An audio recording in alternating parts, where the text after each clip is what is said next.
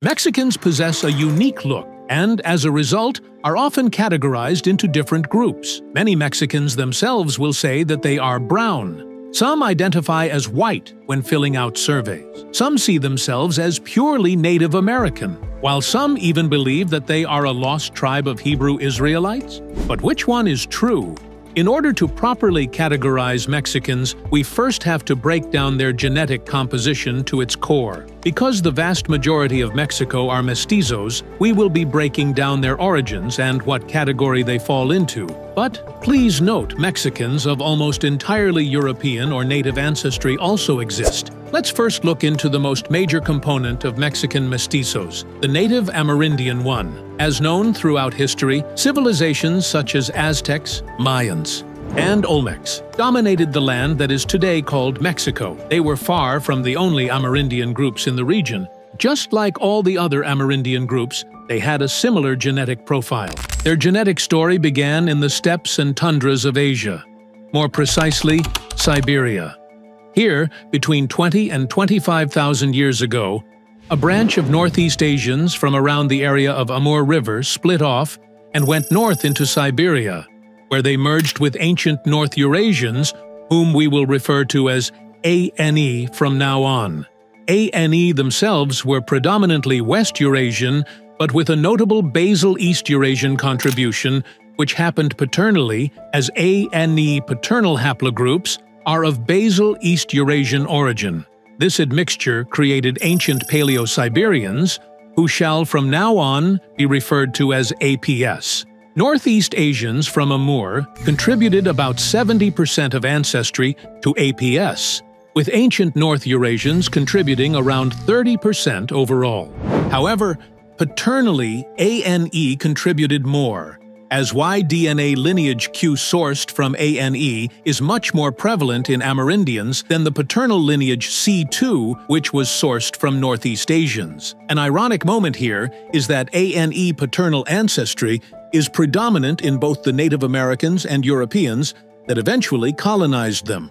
APS then massively settled the Americas entering from Alaska and then migrating further down south. Although they are the major ancestors of all modern Native American groups, please note that there is evidence that they may not have been the first to enter America. There is currently evidence that an earlier group from Siberia that had Denisovan admixture and a more southern East Eurasian genetic profile entered Americas along the coastlines and moved south to South America. Through these coastlines, however, this group was limited and was then overwhelmed by incoming ancient Paleo-Siberians. So now that you know how Amerindians ended up in Mexico, what is their contribution to the Mexican genome?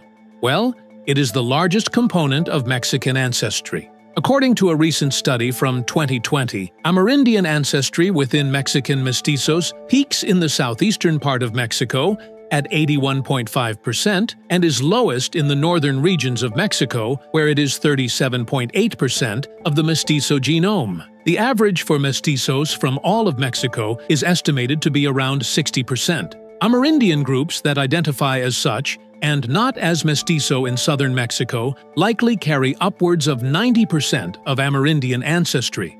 The second largest component of Mexican ancestry is the one that provided modern Mexicans with their language and religion, and it is of course of European origin, specifically Iberian. Europeans as a whole came about from an admixture of early European farmers, who were mainly of Anatolian origin, with minor Western hunter-gatherer admixture, and from Yamnaya nomads from the east, who brought the Indo-European languages into Europe. The Yamnaya nomads were roughly half of Eastern European hunter-gatherer origin, who themselves were of 80% ancient North Eurasian origin. Yes, the same ANE who contributed to APS and Amerindians. They were also the main source of paternal ancestry to Europeans, as most of Europeans today carry their Y-DNA rather than that of European farmers or Western hunter-gatherers, though Western hunter-gatherer paternal lineages did notably survive on edges of Europe. As a result, almost all modern Mexican paternal lineages ultimately go back to ancient North Eurasians, whether they are subclades of Q from Amerindians or subclades of R1b from Europeans. The Iberian genetic profile autosomally was marked by being predominantly of European farmer origin at 65%, followed by a 30% contribution from Yamnaya nomads, and finally by 5% of Bronze Age North African contribution. The North African admixture here is already embedded into Iberian genome and doesn't include additional North African admixture that would stem from conversos or Canarian Spaniards who also arrived in Mexico. This European contribution follows an inverse logic to Amerindian ancestry as it peaks in northern Mexico at 62.6%, but decreases the further south you go being lowest in mestizos of southeast Mexico at only 11.8%. When taking the average of entire Mexico into account, it makes up about 37% of Mexican mestizo genome. The third component, that is not necessarily present in all of Mexican mestizos, but is high enough to appear in the averages for the entire nation, is that of sub-Saharan Africans. Unlike Spanish Caribbean colonies, and English colonies in USA, Mexico wasn't much of a slave-based society with a plantation economy. Rather, most of the labor was sourced from the local Amerindians. However, British and Portuguese still brought some slaves to Mexico, mainly from the Senegambia region. By the 17th century, majority of Africans in Mexico were already free men, and by 1829 slavery was completely abolished in Mexico. Some of Afro-Mexicans also descended from slaves from British colonies and later American states to the north, who would escape to Mexico, and also from free men that would simply migrate.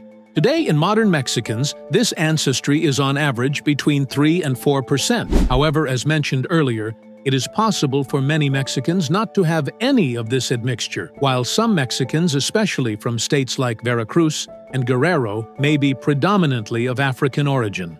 Okay, now we know Mexicans' genetic makeup, but you still haven't answered what race are they. Okay, this is simple. Mexicans on average are 60% native, 37% European, and 3% sub-Saharan African. Because Amerindians are mostly East Eurasian, but carry about 15% of West Eurasian admixture from their ANE ancestry. That means the 60% of native ancestry would translate into 51% East Eurasian and 9% West Eurasian, which would make Mexicans 51% East Eurasian, 46% West Eurasian, and 3% Sub-Saharan African. So the U.S. Census would be wrong in classifying them simply as white because neither European nor West Eurasian in general is their largest genetic component, as they are 51% East Eurasian. They're not purely Amerindian either, as they do have almost half of European and minor African admixture. The brown classification is also tricky because it often includes people such as Asian Indians and Middle Easterners who have a completely different genetic profile from Mexican mestizos, and the only similarities can be from skin tones due to living in hotter climates. The lost tribe of Hebrew Israelites theory is completely unfounded genetically, historically, and in every shape, way, or form imaginable, as neither their paternal lineages, maternal lineages, or autosomal DNA has any similarity whatsoever to ancient samples of Israelites. The category that would suit Mexican mestizos the most is Asian, with a slight African admixture. If we run Mexican mestizos genetic distance to other people of the world, we see that other Latino mestizos and Native Americans who are mixed with white Americans from the USA are the closest. However, if we run their genetic distance to the people of the world, excluding the Americas, then Turkic people such as Crimean Tatars, Nogais, Bashkirs, and Uzbeks often come up as closest populations due to them also being a roughly even split of West and East Eurasian genetic clusters. And as you can see on the screen, these people do remotely resemble Mexicans visually. Please note that this only means that Central's Asians are closest to mestizos out of everyone else in the Old World, but that doesn't mean that they're close, just closest. In general, their genetic distances are still extremely distant due to both populations having different sources for their West and East Eurasian ancestries. If you enjoyed the video, please leave a like, a comment, and subscribe.